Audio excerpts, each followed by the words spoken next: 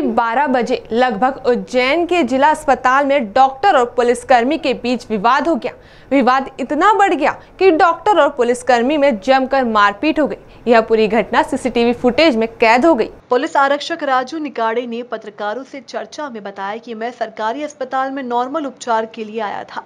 इसी दौरान डॉक्टर मुझे कई घंटों से हॉस्पिटल में एक जगह से दूसरी जगह के चक्कर लगवा रहे थे और बाद में मेरा पर्चा भी छीन दिया जिसका आरक्षक द्वारा विरोध किया गया था, जिसके बाद डॉक्टर और वार्ड बॉय के साथ 10 से 15 लोगों ने मिलकर मारपीट शुरू कर दी।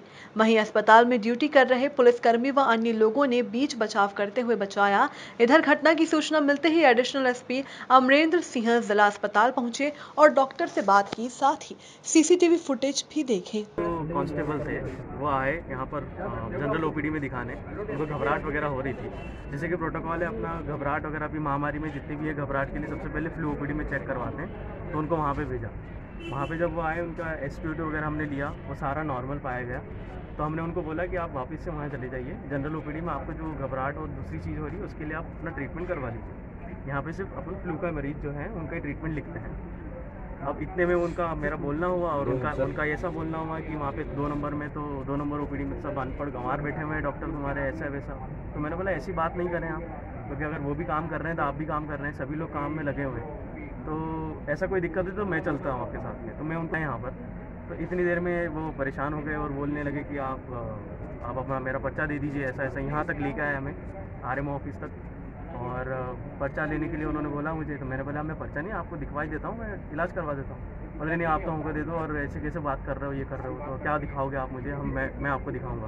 तो मैंने कहा, ऐसी गलत बात क्यों कर रहे हो आप? और अब शब्द बोलने लगे, गाली गलोच करने लगे।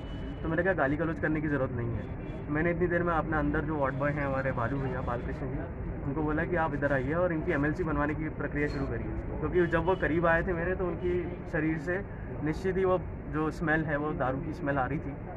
और उस वजह से मुझे शंका हुई तो मैंने बोला कि इनकी एमएलसी करवानी चाहिए, क्योंकि तो यहाँ पे मुझसे मुझसे हाथापाई करेंगे और किसी से करेंगे। बस यही शंका हुई थी कि वो मेरे सामने चढ़े तो बालू भैया, बालकृष्ण जी बीच में आए, बीच बचाव करने के लिए, थोड़ा पीछे हटिए आप और इतने में उन्होंने धक्का दिया बाल, बालकृष्ण जी को, फिर मैंने बीच बचाव किया तो मुझे उन्होंने कॉलर पकड़ी और यहाँ पर चा, चाटा मारा और ये चश्मा जो दिख रहा है आपको ये चश्मा तोड़ा उन्होंने और नीचे मुझे घसीट के नीचे गिराया। मैंने उनको पीछे धकेलने की कोशिश करी बालकृष्ण जी को भी उन्होंने हाथापाई करी और नीचे मुझे फटका उन्होंने इतनी देर में जो बीच में कोई आरक्षक भी यहाँ पे किसी काम वर्ष घूम रहे थे उन्होंने फिर बीच बचाव करा। क्या करने आगे मंशा यही कि आज दुर्भाग्यपूर्ण डॉक्टर्स डे है नेशनल डॉक्टर्स डे के दिन हमारे साथ में ये ये चीज़ दुर्घटना हुई है।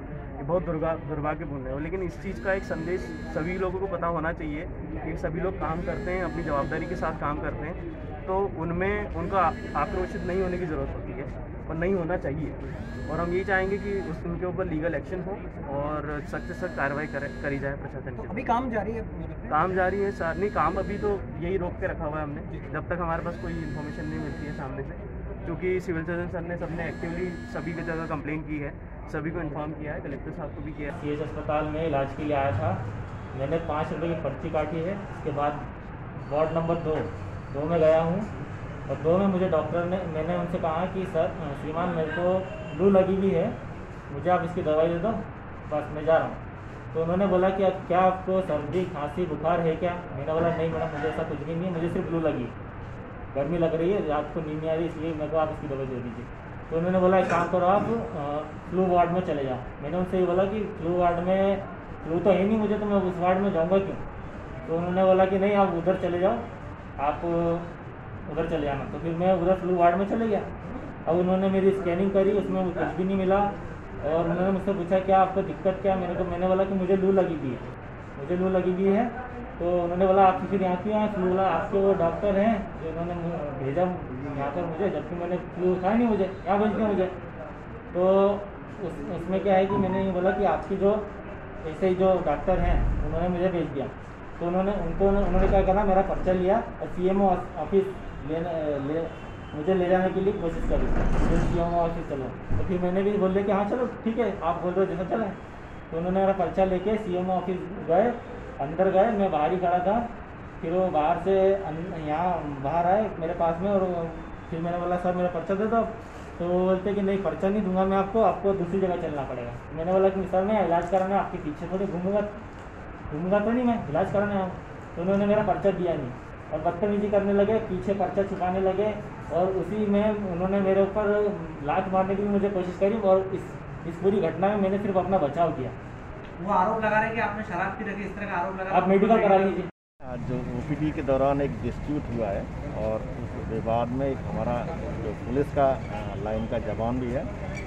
इस दोनों ही में कोई आपस में वाद विवाद हुआ है और उसमें कुछ गलत फहमियाँ हुई हैं। तो हम इस पूरे घटनाक्रम को हमारे जो सीएसपी साहब माधव नगर हैं वो उसकी पूरे मामले की जाँच करेंगे कि आखिर ये कौन सी परिस्थितियाँ थी किन परिस्थितियों में इस प्रकार की घटना हुई है। और अगर कोई हमारा अगर कोई इस प्रकार कहीं कोई दोषी पाया जाएगा तो उस पर कार्रवाई की जाएगी। सर सीसीटीवी भी आए इसमें क्या हाँ? निस- निसंदेह हम इसमें सीसीटीवी फुटेज भी दे रहे हैं। और साथ में हमने हमारे जो ड्यूटी डॉक्टर्स हैं हमारे जो सिविल सर्जन साहब हैं उन लोगों से भी बात की यहाँ जो सीनियर डॉक्टर्स हैं उनसे भी बात की है। और साथ में जो घटनाक्रम है उसके बारे में भी जानकारी ली है। और इस पूरे घटनाक्रम का बिल्कुल निष्पक्ष रूप से जाँच की जाएगी और फिर आगे जो भी अगर कोई दोष पाया जाएगा तो उज्जैन से अरविंद देवधरे के साथ पल्लवी शर्मा की रिपोर्ट।